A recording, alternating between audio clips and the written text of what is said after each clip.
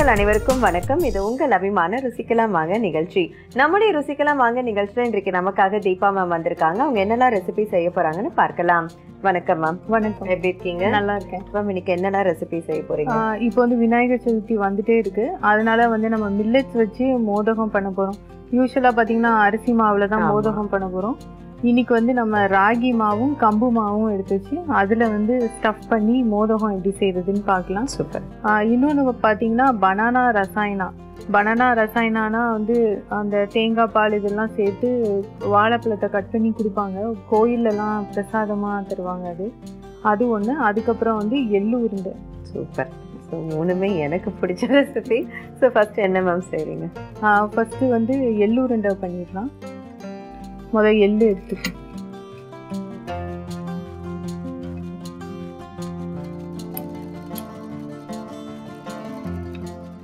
கொஞ்சமாக நெய் விட்டு எள்ளை வந்து வறுத்துக்கலாம்.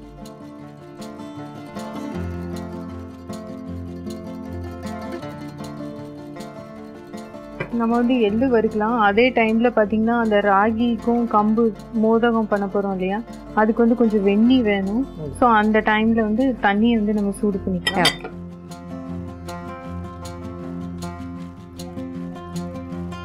போதும். தண்ணி வந்து நல்ல தலை தலைன்னு கொதிச்சிருக்கணும். அப்போ தான் வந்து நம்ம பிடிக்கும்போது அந்த மாவுலாம் கொஞ்சம் நல்லா பைண்ட் ஆகி வரும். ஓகே இப்போ வந்து நெய் வந்து சூடாயிடுச்சு. எள்ளு வந்து சேர்த்து வறுத்துக்கலாம்.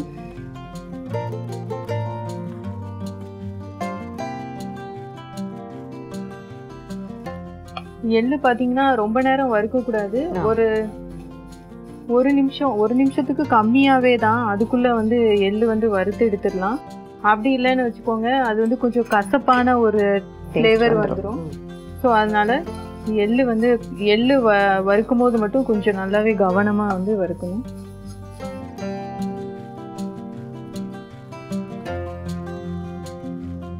யூஸ்வலாக பார்த்து இது வந்து நம்ம எள்ளு உருண்டைன்னு பண்ண போகிறோம் இதே இது நம்ம எள்ளு உருண்டைக்கு பண்ணுறோம் இல்லையா? அதே நம்ம உருண்டை மாதிரி உருட்டி வச்சிரும் இதே இதை வந்து நீங்கள் ஸ்டஃபிங்காக கூட யூஸ் பண்ணி அந்த அரிசி மாவு வச்சு கொழுக்கட்டை கூட செய்யலாம். அது. வந்து இன்னும் ரொம்ப டேஸ்டியாக இருக்கும்.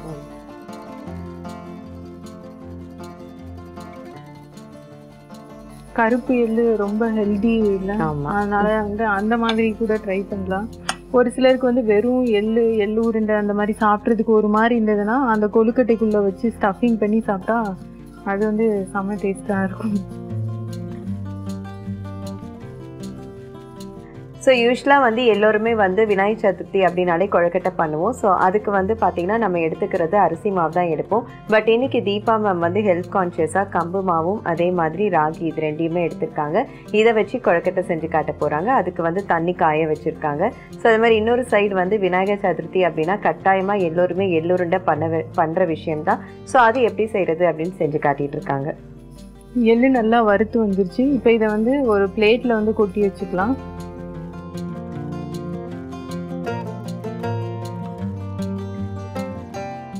தண்ணி நல்லா சூடாயிடுச்சு. இப்போ வந்து நம்ம வந்து மாவு வந்து எப்படி ரெடி பண்றதுன்னு பார்க்கலாம். ராகி மாவு.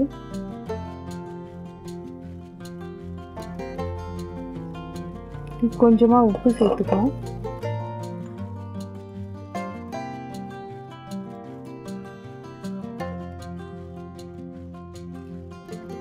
இப்போ வந்து தண்ணியை வந்து நல்லா கொஞ்சம் கொஞ்சமா ஊற்றி நம்ம இந்த இடியாப்பம்லாம் பண்ணுவோம் இல்லையா. அந்த மாதிரி பிசைஞ்சு எடுத்துக்கலாம். யூஸ்வலாக கொழுக்கட்டைக்கே பார்த்தீங்கன்னா நம்ம வந்து அரிசி மாவில் வந்து சூடான தண்ணியை ஊற்றி தானே மிக்ஸ். பண்ணிக்குவோம் அதே மாதிரி தான்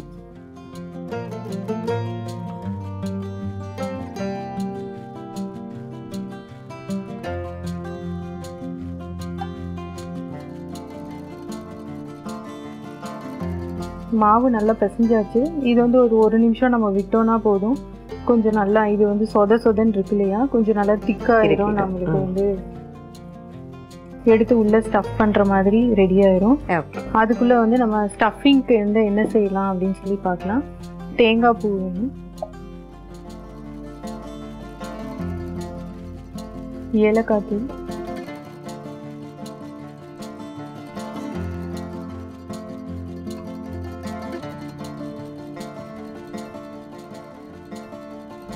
கொஞ்சமாக சீனி வேணும்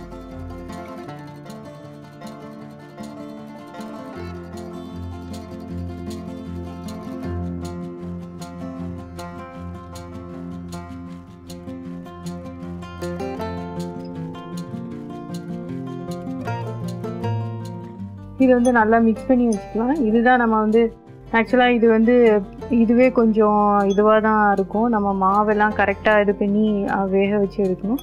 ஸோ ஸ்டஃபிங் வந்து பார்த்திங்கன்னா ரொம்ப சிம்பிளாக தான் பண்ணுறோம் பருப்பு அந்த மாதிரி வேக வச்சு அந்த ஸ்டஃபிங் பண்ணணுன்னாலும் பண்ணலாம். பட் இது கூட வந்து இந்த ராகி கம்பு இது கூட வந்து தேங்காய் பூவும் சுகரும் வந்து சேர்த்து சாப்பிடும்போது அதோட டேஸ்ட்டே வந்து அடிச்சுக்கவே முடியாது. ஓகே ஸோ அதனால இதே இதை வந்து நம்ம உள்ளே வந்து ஸ்டஃபிங்க்கு வைக்கிறோம். இப்போ மாவு ரெடி ஆயிடுச்சு. கையில் வந்து கொஞ்சமாக நெய் தடவிக்கலாம்.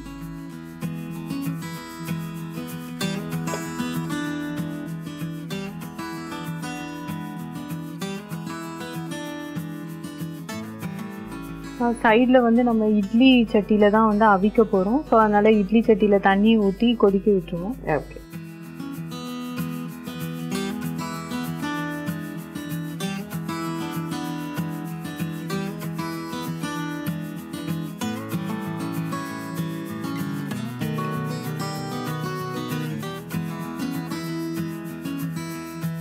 மாவு நல்லா வந்து திக்காக வந்து உருட்டிட்டு ஓகே இந்த மாதிரி லைட்டாக கொஞ்சமாக வந்து இந்த மாதிரி தப்பிக்கலாம் ஸ்டஃபிங் வந்து ரொம்ப கம்மியாகவே வைக்கலாம்.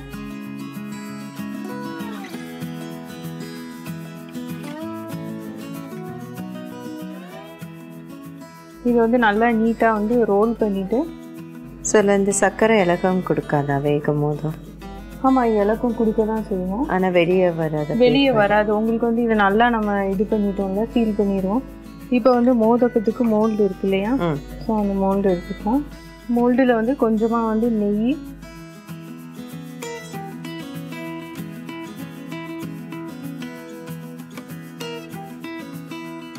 நெய் வேண்டாம்னு நினச்சா எண்ணெய் கூட யூஸ் பண்ணிக்கலாம். யூஸ் பண்ணிவிட்டு இந்த மாதிரி நல்லா வந்து ஃபுல்லாக எல்லா சைடும் அந்த மாதிரி ரப் பண்ணிவிட்டு இது உள்ளே இந்த மாதிரி வச்சுட்டு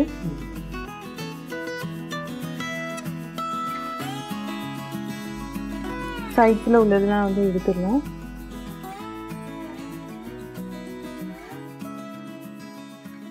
இப்போ நம்ம இட்லி பாத்திரம் வந்து ரெடி ஆனதும் வேக வச்சு வேக வச்சு எடுத்துக்கலாம். இதே மாதிரி தான் மற்றதையும் வந்து செய்யணும்.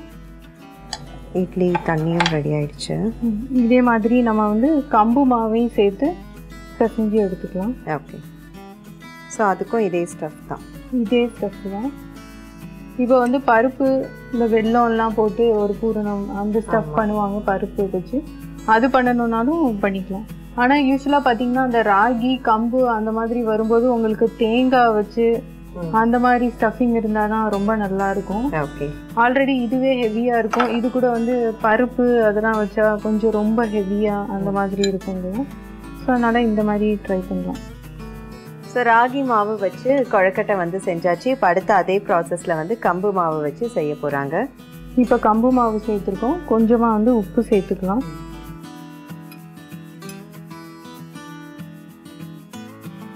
இப்போ வந்து அதே கொதிக்க வச்ச தண்ணி இருக்கு இல்லையா? அதை சேர்த்து சேர்த்து மெது மெதுவாக செஞ்சுக்கலாம்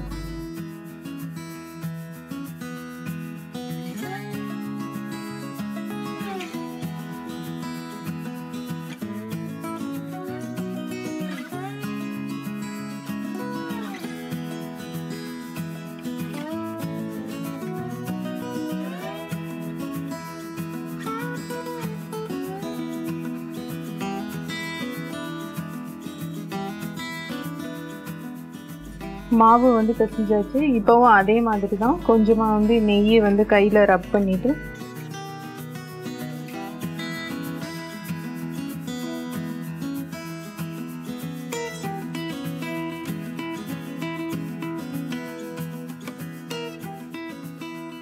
இதில் வந்து அந்த தேங்காய் ஸ்டஃபிங் அதே மாதிரி தான்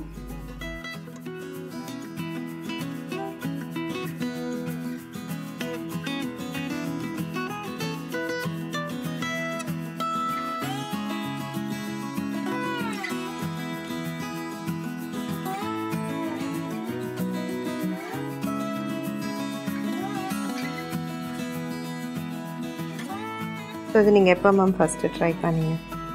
இது வந்து நான் ஒரு ரெண்டு மூணு வருஷத்துக்கு முன்னாடியே வந்து விநாயகர் சதுர்த்திக்கு வந்து ட்ரை பண்ணேன். ஓகே ஏன்னா யூஸ்வலாக நம்ம எப்போவுமே வந்து அரிசி மாவு அதில் தான் பண்ணுறோம் சரி மில்லட்ஸ் வச்சு ட்ரை பண்ணலாம்.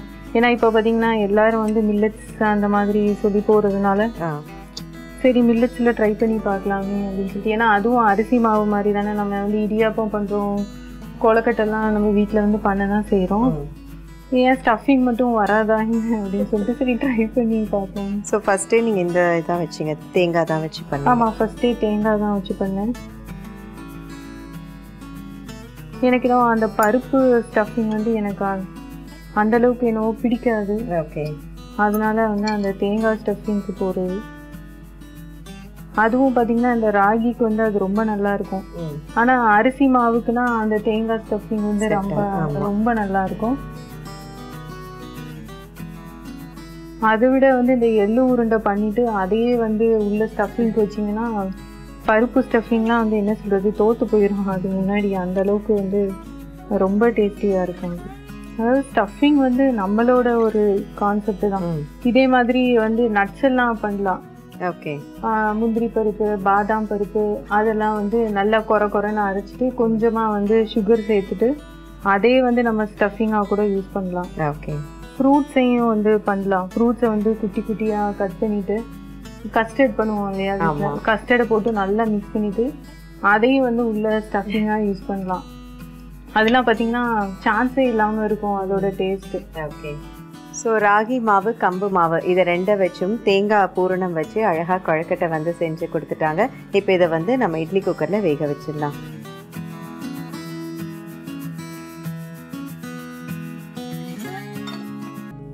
இப்போ வந்து கொழுக்கட்டை வெந்துட்டு இருக்கு இப்போ நம்ம வந்து எள்ளு உருண்டை வந்து ரெடி பண்ணிக்கலாம். எள்ளு வறுத்து வச்சிருக்கோம். இப்போ வந்து வறுத்து வச்சிருக்கோம் இல்லையா? அந்த எள்ளை வந்து அரைச்சி எடுத்துக்குவோம்.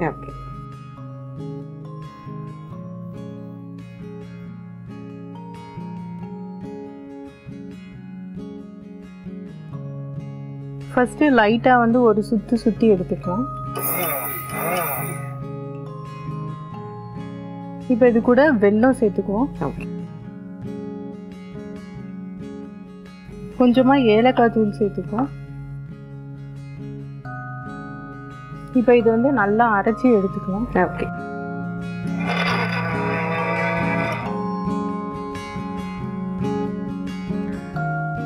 நல்லா அரைச்சி வந்துருச்சு. இப்போ இதை வந்து ஒரு பவுல்ல மாத்திட்டு உருண்டை பிடிச்சிக்கலாம் நம்ம. ஓகே இந்த எள்ளுருண்டைக்கு முதல்ல வந்து ஒரு பேனில் கொஞ்சமாக நெய் விட்டு எள்ளை வறுத்து தனியாக எடுத்து வச்சுக்கிட்டாங்க. அது நல்லா ஆறினதுக்கு அப்புறமா மிக்ஸி ஜாரில் எடுத்து தேவையான அளவு வெல்லம் சேர்த்து ஏலக்காய் தூளையும் சேர்த்து நல்லா அரைச்சி இப்போ ஒரு பவுலில் எடுத்து வச்சுக்கிட்டாங்க. எள்ளுருண்டைக்கு பார்த்தீங்கன்னா நம்ம வறுக்கும் போதும் பார்த்தீங்கன்னா நிறைய நெய் சேர்க்கக்கூடாது. கொஞ்சமாக நெய் சேர்த்துக்கிட்டாலே போதும். ஏன்னு கேட்டிங்கன்னா எள்ளுல வந்து எண்ணெய் இருக்கும். அரைச்ச உடனே பார்த்தீங்கன்னா அதுவே வந்து நல்லா அந்த எண்ணெயே ரிலீஸ் ஆகும். அதிலே வந்து நம்ம வெல்லமும் சேர்த்துருக்கிறதுனால நல்லா நீட்டாகவே பைண்ட் ஆயிரும். ஓகே. அதனால நிறைய வந்து நெய் சேர்த்துட்டோம் அப்படின்னா அதுக்கப்புறம் வந்து ரொம்ப கொல கொலன்னு ஆயிரும். ஓகே. பார்க்கறதுக்கு வந்து உதிரியா இருந்துச்சுன்னா பாருங்க இவ்வளோ ஆ. அழகா வந்துருச்சுன்னு சொல்லி. இதே தான் அப்படியே நம்ம வந்து அப்ப சொன்னேன் இல்லையா? அதே மாதிரி கொழுக்கட்டைக்கு. கொழுக்கட்டைக்குள்ள வந்து ஸ்டஃபிங் பண்ணிக்கலாம். ஏன்னா எள்ளு வந்து நம்ம மோஸ்ட்லி ரொம்ப வந்து ஃபுட்ல எடுத்துக்கிறதே கிடையாது. வேணா அந்த இட்லி பொடி பண்ணா அந்த எள்ளு கூட சேர்த்து எள்ளு இட்லி பொடின்னு சொல்லி பண்ணுவோம். அதுவுமே வந்து பசங்க பசங்கன்னு இல்லை பெரியவங்க கூட யாருமே யூஸ்வலாக சாப்பிட்றது கிடையாது. எள்ளு சாதம் பண்ணுவாங்க. அதுவுமே வந்து ரொம்ப யாருமே தொடுறது கிடையாது. ஆனால் எள்ளு வந்து பெஸ்ட்டு ஃபார்ம் என்ன கேட்டிங்கன்னா அந்த மாதிரி லட்டுன்னு செஞ்சு வச்சுட்டா அப்படியே டக்குன்னு காணாமல் போயிடும் இதுவும் பிடிக்கல அப்படின்னா அந்த கொழுக்கட்டைக்குள்ள ஸ்டஃப் பண்ணிட்டேன்னா வந்து ஈஸியாக வந்து எள்ளு சாப்பிட்றதுக்கு சரியான வழின்னு சொல்லுவேன் நான். அதுவும் நம்ம சுகர் தேவையில்ல வெல்லம் தான் சேர்த்துருக்கோம். So okay ma'am I think கொழுக்கட்டை நல்லா வெந்திருக்கும்னு நினைக்கிறேன். ஸோ அது பார்க்குறீங்களா? நான் வேணா பண்ணி வைக்கிறேன்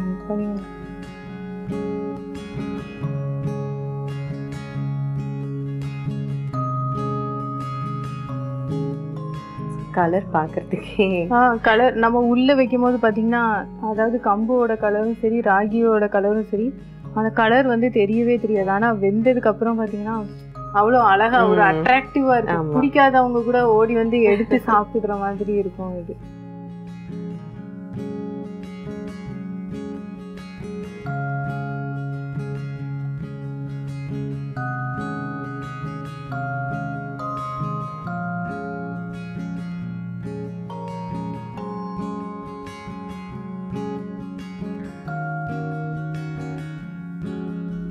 எள்ளு உருண்டை அப்புறம் வந்து கம்பு ராகி கொழுக்கட்டை ரெடி ஆயிடுச்சு. சாப்பிட்டு சொல்லுங்க டேஸ்ட் எப்படி இருக்குன்னு. நல்ல ஹெல்தியான வருஷன் நம்ம மட்டும் இல்லாம நம்ம விநாயகரை கூட ஹெல்தி ஆக்கிரும் ஸோ இன்னைக்கு வந்து பார்த்தீங்கன்னா விநாயகர் சதுர்த்தி ஸ்பெஷலாக நமக்காக தீபா மேம் சூப்பரான பிரசாதம் செஞ்சு கொடுத்துருக்காங்க. ரொம்பவே ஆரோக்கியமான பிரசாதம்னு சொல்லலாம். ஏன்னா பொதுவாக ஃபெஸ்டிவல் டைமில் தான் நம்ம ஏடா கூடமாக கொஞ்சம் சாப்பிட்ருவோம் அச்சச்சோ இவ்வளோ சாப்பிட்டோமேன்னு ஃபீல் பண்ணுவோம். பட் இந்த மாதிரி பர்ஷன் சாப்பிட்டோன்னா அந்த பயமே நமக்கு இருக்காது. இப்போ என்னுடைய சுவையெல்லாம் எப்படி இருக்குன்னு பார்க்கலாம்.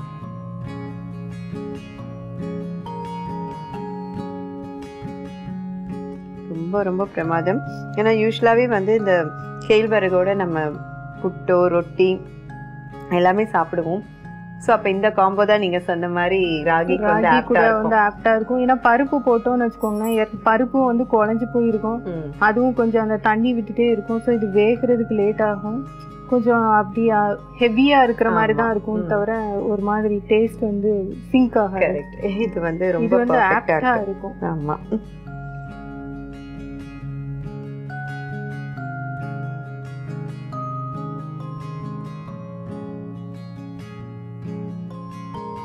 Super ma'am.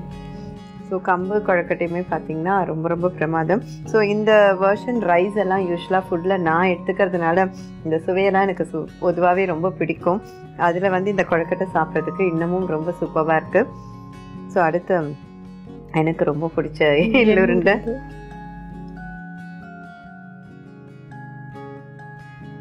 இதோட சுவை வந்து கேட்கவே வேணாம். சும்மாவே நான் வீட்டில் வந்து எள்ளும் எல்லாத்தையும் போட்டு சாப்பிட்டுட்டே இருக்கிறதா ஸோ இது வந்து ரொம்ப சூப்பராக இருக்கு மேம் நீங்கள் எடுத்த குவான்டிட்டிக்கு ஏற்ற மாதிரி வெல்லம் சேர்த்துருக்கீங்க. அதுதான் இதில் வந்து நம்ம முக்கியமாக சொல்ல வேண்டிய விஷயம். ஏன்னா நிறைய பேர் வந்து ஒன்று கம்மியாக போட்டுருவாங்க. சாப்பிடவே முடியாது. கசப்பு எள்ளு வந்து ஒரு கப் போட்டோம் அப்படின்னா வெல்லம் வந்து கொஞ்சம் நல்லா பொடிச்சதாவே இருந்துச்சுன்னா அரை கப் சேர்த்துக்கிட்டோம்னா போதும். ஏன்னா வெல்லம் வந்து ஜாஸ்தி ஆயிட்டாலும் வந்து கொல கொலன்னு ஆயிரும். ஏன்னா நம்ம அரைக்கிறோம் இல்லையா? மற்ற இதுனா கூட அரிசி மாவு இந்த மாதிரினா உறிஞ்சிரும் அந்த ஈரப்பதத்தை. எள்ளு வந்து ஆல்ரெடி எண்ணெய் வந்து ரிலீஸ் பண்ணும். அப்போ வந்து ரொம்ப ஒரு மாதிரி கொல கொலன்னு ஆகி ஒரு மாதிரி ஜவ்வு மாதிரி கரெக்ட் ஸோ இது வந்து க பர்ஃபெக்டாக நீங்கள் வந்து அந்த ரேஷியோ போட்டு சூப்பராக செஞ்சுருக்கீங்க. ஸோ இன்னைக்கு ஓவராலாக இந்த விநாயகர் சதுர்த்தி பிரசாதம் super ma'am thank you so much thank you okay விவாஸ் இன்றைக்கு நமக்காக தீபா மேம் அருமையான ஆரோக்கியமான பிரசாதங்கள்லாம் செஞ்சு கொடுத்தாங்க. நீங்களும் இந்த விநாயகர் சதுர்த்திக்கு இதெல்லாம் ட்ரை பண்ணி பார்த்து என்ஜாய் பண்ணுங்க. மீண்டும் அடுத்த நிகழ்ச்சியில் உங்கள் அனைவரையும் சந்திக்கிறோம். நன்றி வணக்கம்.